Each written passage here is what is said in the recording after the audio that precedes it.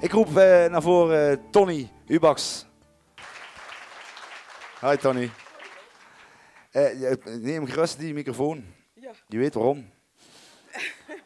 Tony vertelt het verhaal De Meter. Toen ik een moeilijke periode in mijn leven doormaakte, ging ik in therapie om weer meer grip op mijn leven te krijgen. Tijdens deze periode kwam ik in aanraking met mythologische en bijbelverhalen. Ik volgde een cursus Godinnen in elke vrouw en een cursus bibliodrama. Nu vraagt iedereen natuurlijk, wat is nou bibliodrama? Maar dat is spelen, een verhaal uit de Bijbel spelen en kijken wat het verhaal met jou doet. Zowel de verhalen uit de Griekse mythologie als de Bijbelverhalen hielpen mij en helpen mij nog steeds om inzicht in mezelf te krijgen, de innerlijke conflicten te zien en daar dan ook mee aan de slag te kunnen gaan. Het helpt mij de gebeurtenissen in mijn leven een plek te geven. Deze verhalen raken aan de verhalen van mijn eigen leven. Zo kwam ik ook in aanraking met het volgende verhaal van Demeter en Persephone. Demeter, de godin van de vruchtbaarheid, groei en nieuw leven, hield geweldig veel van haar dochter en waakte over haar als een moederkloek. Maar toch werd haar dochter Persephone ontvoerd, juist toen ze bloemen plukte in het veld. Hades, de god van de onderwereld en heerser over de doden, kwam met paard en wagen op uit, de kloof, uit een kloof in de schoot van de aarde en trok haar op zijn wagen. Persephone riep om hulp, maar het mocht niet baten. Ze verdween met hem in de duisternis. Demeter stortte zich in een diep verdriet. Ze zwierf wanhopig en tevergeefs de aarde rond om haar dochter te vinden. Tot de oude Helios, de zonnegod die alles had gezien, medelijden kreeg en haar vertelde waar ze was. In de onderwereld bij Hades, die haar tot vrouw had genomen. De meter was volkomen machteloos en in haar treurnis over het verlies bracht ze een dorre winter op aarde en veel mensen leden hongersnood. Toen het al te erg werd, gebood Zeus zijn broeder Hades om Persephone aan haar moeder terug te geven. Hades stemde toe. Maar Persephone had juist die dag zes granaatappelpitten gegeten. Voor elke pit die ze gegeten had, moest Persephone een maand naar hem, naar de liefde, terugkeren.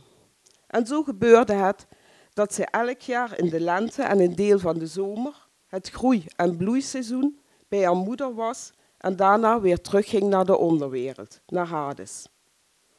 Wat heeft dit verhaal nu met de moeilijke periode in mijn leven te maken? Ik was jong, 21 jaar oud, woonde destijds in Duitsland, toen ik zwanger werd. En pas laat in de zwangerschap te horen kreeg dat er een tweeling op komst was.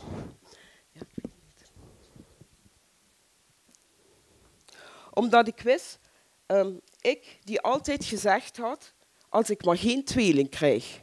Omdat ik wist wat dat kon betekenen.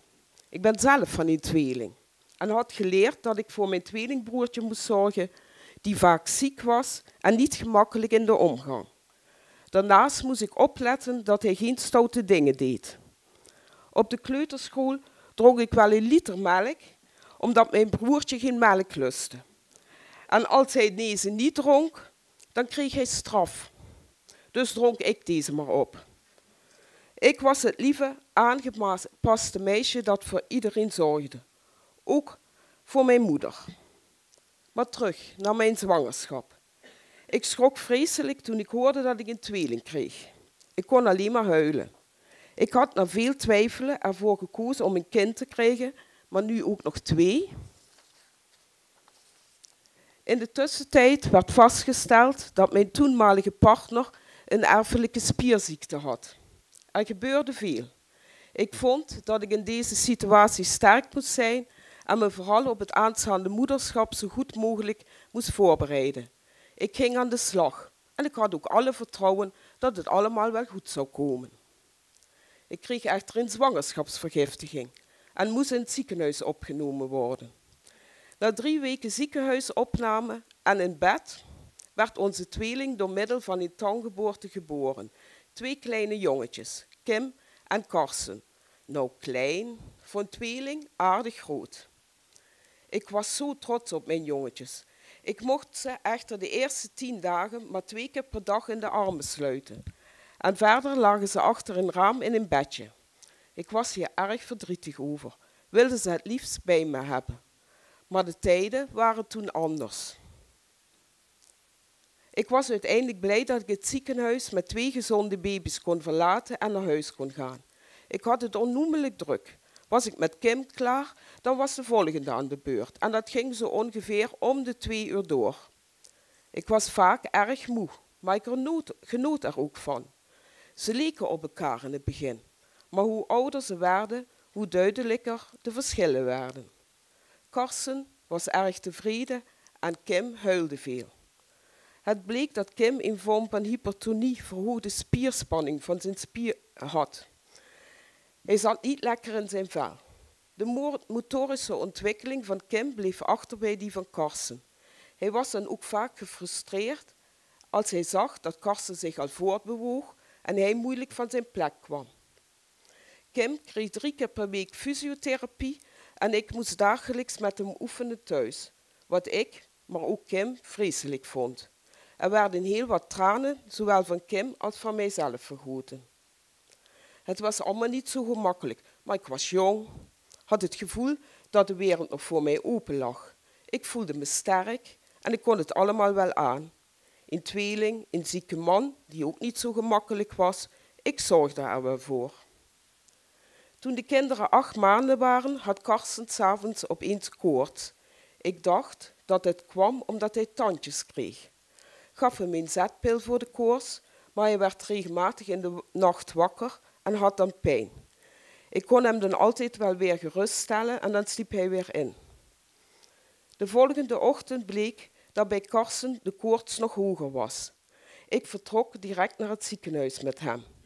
Hij bleek een encefalitis, een hersenontsteking te hebben en een sepsis, bloedvergiftiging. Er werd nauwelijks met mij gesproken. Er werd over Karsten gesproken, maar niet met mij. Karsten was al snel bewusteloos en we vreesden voor zijn leven. Wat was ik bang hem te verliezen. Kim werd ook opgenomen in het ziekenhuis vanwege besmettingsgevaar. Ik mocht maar heel even bij ze komen, terwijl ze me zo hard nodig hadden. Ik mocht achter een raam staan, kijken naar Kim. Bij Karsten mocht ik tien minuten naar binnen en dan moest ik weer vertrekken. Ik was zo graag bij hem gebleven en ook bij Kim.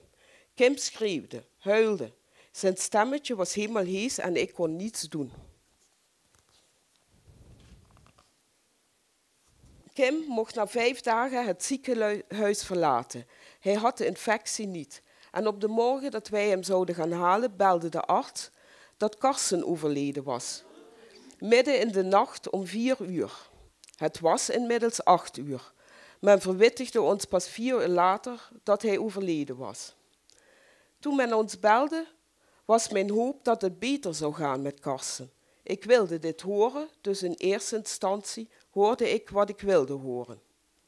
De arts herhaalde nog een keer dat Karsten die nacht om vier uur was overleden. Ik trilde over mijn hele lichaam en moest gaan zitten, anders was ik gevallen. Het drong niet direct op mij door. Toen ik het besefte, wist ik het niet meer. Ik moest naar het ziekenhuis, nu. In het ziekenhuis aangekomen ging ik als eerste naar Karsten.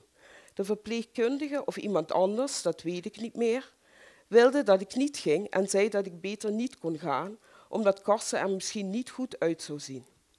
Ik stond daarop en dan lag hij, helemaal wit. Niemand hielp me. Ik was zo graag naar hem toegegaan en had hem zo graag in de armen gesloten. Ik durfde niet, dus ik keek alleen. Ik weet niet meer hoe ik uit die kamer gekomen ben. Ik weet dat ik Kim mee naar huis genomen heb.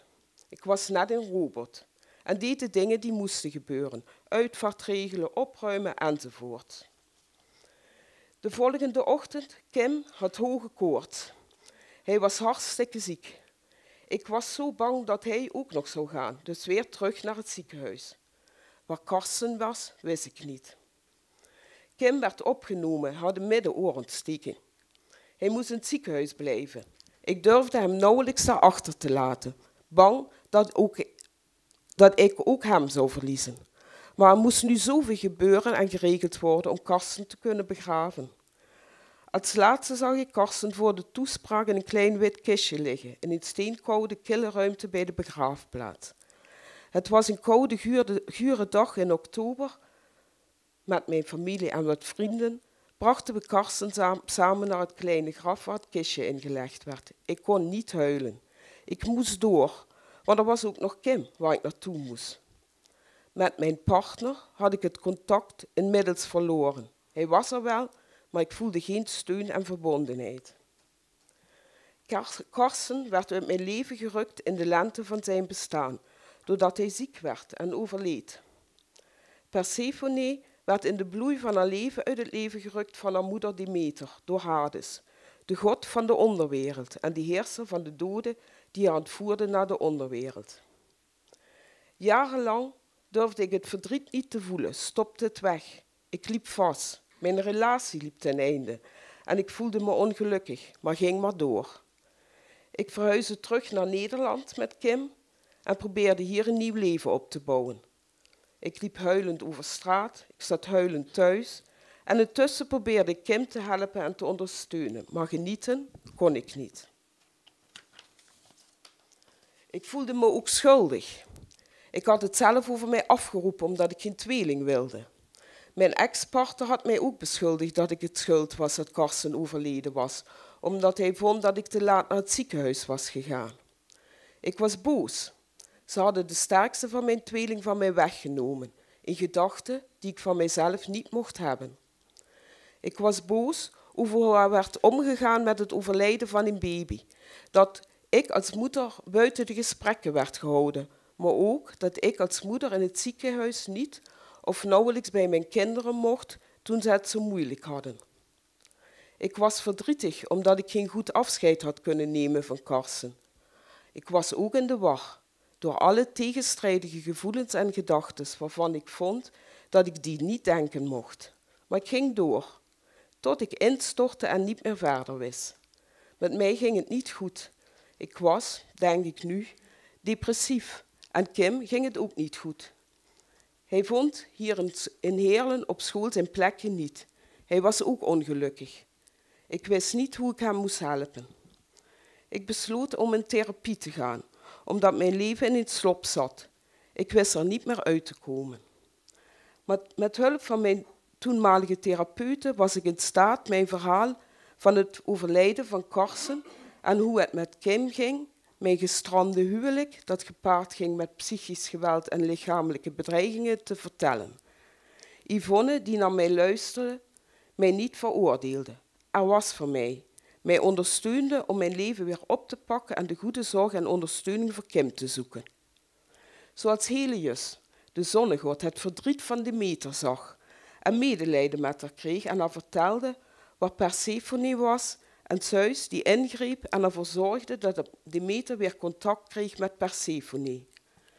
Pas toen naar mijn verhaal geluisterd werd, mijn, men mijn verdriet zag, kon ik Karsten weer zien.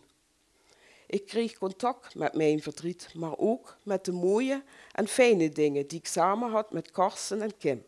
En uiteindelijk kon ik ook weer genieten van Kim. Ik kreeg weer wat meer zelfvertrouwen en de mythische verhalen en bijbelverhalen ondersteunden mij om te kunnen benoemen wat er in mijn innerlijk gebeurde, welke innerlijke conflicten bij me speelden en waar ik mee worstelde.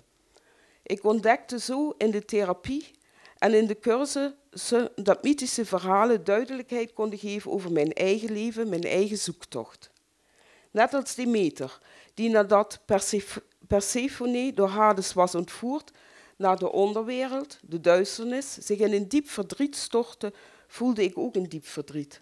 En net als Demeter, die op aarde rondzwierf en wanhopig en tevergeefs op zoek was om haar dochter te vinden, zwierf ook ik op aarde rond en was ik wanhopig en tevergeefs op zoek naar mijn overleden zoon en ook op zoek naar het contact met Kim. Ik voelde me ook machteloos en treurde over het verlies en ik had weinig te geven. Voor mij betekende dat dat ik wel deed, maar ik maakte geen contact meer met mijn gevoel. Ik deed wat ik dacht dat ik moest doen. Net als bij Persephone, die in haar treurnis over het verlies een dorre winter op aarde bracht en zorgde voor een hongersnood. Uiteindelijk kon ik met ondersteuning vanuit de therapie en de ontdekking van het verhaal van Demeter en Persephone echt afscheid nemen van Karsen. Ik kon weer leven, ging een opleiding doen en nog een en nog een. Zorgde voor Kim en ik had weer momenten van plezier en genieten. Ik had het gevoel weer terug dat het leven voor mij van alles in petto had. Zeker ken ik nog periodes waarin ik het weer dreigt kwijt te raken. Maar iets in mij laat mij iedere keer weer opnieuw op zoek gaan naar dat wat het leven de moeite waard maakt. In de mythe van de meter, Persephone en Hades, gebeurde het dat Persephone elk jaar in de lente en een deel van de zomer, het groei- en bloeiseizoen, bij haar moeder was en daarna weer terugging naar de onderwereld, naar Hades. Ook voor mij is het leven zoals alle seizoenen. De lente als het verwelkomen van nieuw leven, de zomer vol bloei, de herfst waarin het leven weer langzaam sterft en de duisternis van de winter en het afscheid nemen. Ik wil. Dank je wel.